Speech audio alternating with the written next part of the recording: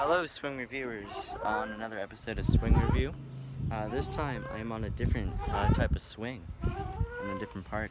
You can tell because it's really loud, so it's not as good as the one, the other one, the main one, but I'm just going to use this one to spice it up.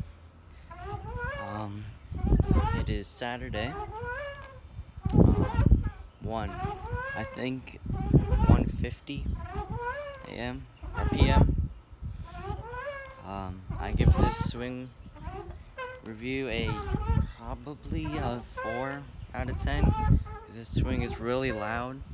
Um, there's also another type of swing which I'll probably do later. And uh, if you uh, like the video, like the video. And if you want more, subscribe more. Pieces.